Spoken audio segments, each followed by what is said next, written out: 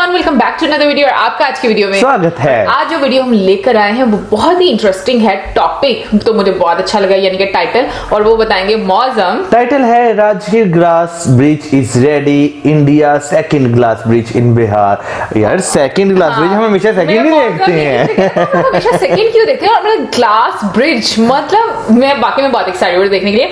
Anyway video देखने से पहले इस वीडियो का चैनल का ओरिजिनल जो है आपको हमारी वीडियो की डिस्क्रिप्शन मिल जाएगा। सब्सक्राइब करें लाइक करें शेयर करें फॉलो करें स्मार्ट सिटी गाइड के चैनल को उसके अलावा हमारे ब्लॉगिंग चैनल का लिंक इंस्टाग्राम का लिंक भी हमारी वीडियो की डिस्क्रिप्शन में मिल जाएगा। सब्सक्राइब करें लाइक करें शेयर करें फॉलो करें। चलिए देख लेते हैं। वीडियो।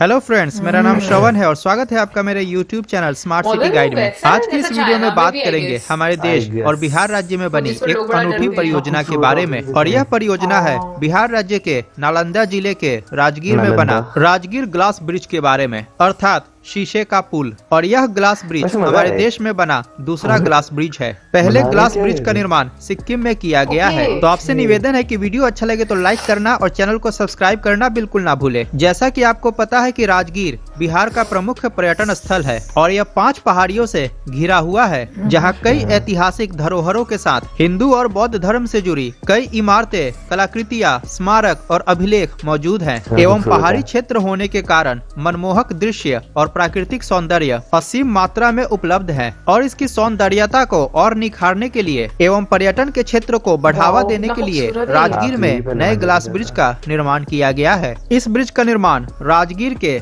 जू सफारी पार्क में किया गया है। इस ग्लास ब्रिज का निर्माण चीन में बने ग्लास ब्रिज के प्रारूप पर किया गया है। इस ग्लास ब्रिज पर एक साथ 25 लोग चल सकते हैं। यह ग्लास स्काई वॉक ब्रिज और राजगीर में वेणुबन के अंतर्गत बनने वाले जू सफारी और नेचर सफारी पार्क मुख्यमंत्री नीतीश कुमार का ड्रीम प्रोजेक्ट है। जू सफारी पार्क की आधारशिला 17 जनवरी 2017 को मुख्यमंत्री नीतीश कुमार द्वारा रखी गई थी। यह पार्क 191 हेक्टेयर्स लैंड एरिया में अच्छा फैला हुआ है। है और इस पार्क का निर्माण 60 करोड़ में किया जा रहा है और राजगीर ग्लास ब्रिज इसी पार्क का हिस्सा है। राजगीर ग्लास ब्रिज और राजगीर जू सफारी पार्क को 2021 में आम नागरिकों के लिए खोल दिया जाएगा। और जैसा कि आपको पता है कि वर्तमान में राजगीर में एक रोपवे का निर्माण कार्य भी चल रहा है और एक रोपवे पहले से मौजूद है। अतः यह सभी परियोजनाएँ पर्यटन के क्षेत्र को बढ़ाने में सहायक सिद्ध होंगे। राजगीर ग्लास ब्रिज की लंबाई लगभग 30 से 40 मीटर के बीच है। एग्जैक्ट लंबाई का आंकड़ा अभी सामने नहीं आया अच्छा, है जब भी ये सूचना आएगी आपको फ़र्स्ट कमेंट में इसकी फाइनल लेंथ मिल जाएगी। अगर वीडियो पसंद आया हो तो लाइक करना बिल्कुल ना भूले और चैनल को प्लीज़ सब्सक्राइब करें। मिलते हैं अगली वीडियो में। नमस्कार जय हिंद।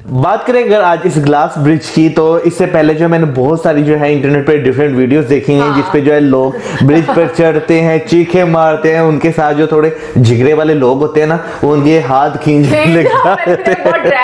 लोग। लेकिन मौसम पता है क्या वो वाला जो हम लोगों ने वीडियोस देखी हैं उसमें क्या था ग्लास से ना क्रैक भी हो रहा था। हाँ साथ साउंड आता है हाँ, क्रैक होने का हाँ, वो लोग चीखे डरते मारते हैं। अच्छा मैं तो कई लोग ऐसे थे जो काँप रही होती है। है जिनको हाइपोबिया होता होगा ना वो लोग ज़रूर ऐसे करते हैं। पर पर जो है ना गिलास जो वो लगाते हैं वो होता भी इतना शफाफ है ना इतना क्लियर होता है ना कि आपको लगता ही नहीं नीचे गिलास पड़ा हुआ है। अच्छा वैसे ये मुझे आज पता चला क्योंकि जैसे हम लोगों ने वीडियो देखी इसमें बताया कि एक टाइम में 25 लोग जा सकते हैं। हाँ। मींस के वहाँ पर भी एक टाइम Limit होगी। लोगों की लिमिट होगी होगी। कि वो लोग जा सकते होंगे। बट ये कि ये बहुत ही मैं बोलूँगी एक एडवेंचरस टाइप की चीज़ है जिसको करने में काफ़ी ज़्यादा आपको मज़ा आता होगा है ना मतलब मेरा मेरा तो ख्याल है कि जो बंदे बाकी आपके लिए बात है हाइट फोबिया है ना हाँ। वो आपकी टांगों में उन्हें उन्हें उन्हें उन्हें कोई सजा देनी हो ना उनकी आँखों पे रखने कोई बदला लेना हो आँखों पे हाथ रखी यहाँ पे ले जाओ। तुम क्या रिवेंज वाली साइड पर आ गए इतना अच्छा है यार उन्होंने एक एंटरटेनमेंट वाला बट ये कि हर सिटी में वाकई में कुछ ना कुछ ऐसी चीज़ होनी चाहिए हर स्टेट में हम्म। जो कि ना आप क्या मैं बोलूँगी कि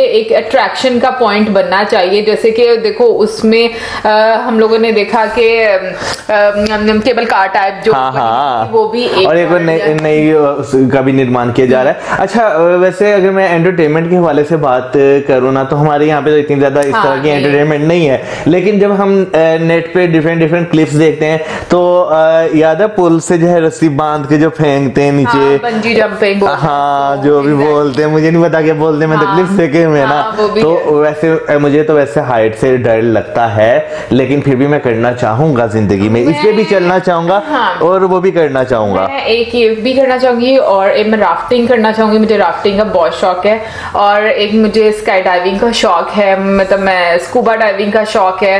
मैं स्काई डाइविंग पैराशूट के साथ?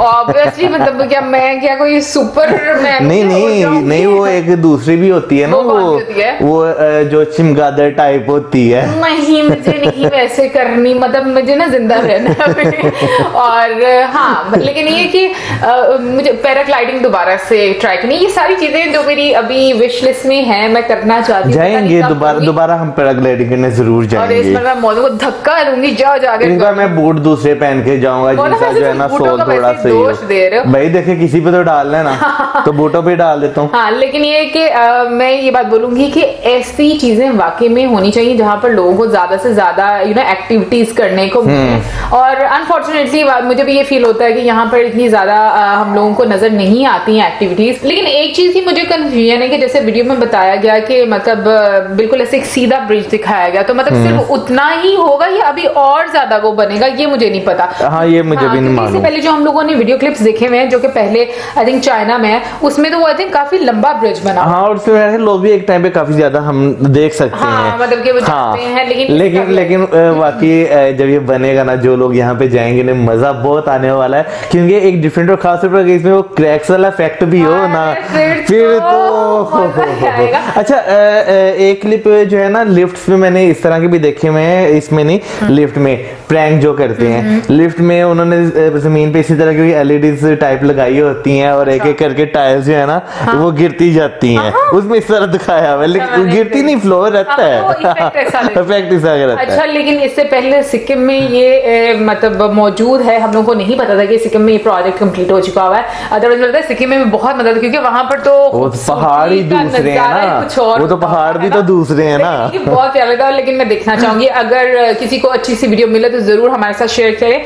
और आप क्या सोच रहे हैं इसके बारे में ज़रूर बताइए। आपको ये प्रोजेक्ट कैसा लगता है? आपको लगता है कि ऐसी और प्रोजेक्ट्स बनने चाहिए? वैसे मुझे लगता है बनने चाहिए पता है क्यों? क्योंकि वो ही चीज़ें जो हम लोग कहीं पर जाकर ढूंढते हैं ना दूसरे कंट्रीज़ में तो मुझे लगता है वो अपने कंट्रीज़ में हो तो वो ज़्यादा अच्छा सही बात है। तो ज़रूर बताइएगा हमें और कौन कौन जाकर यहाँ पर इस एडवेंचर का एक्सपीरियंस लेना चाहता है ये भी ज़रूर हमें बताइएगा और अब हमें दे इजाज़त हमारी videos like channel subscribe videos करें keep us in your prayers good bye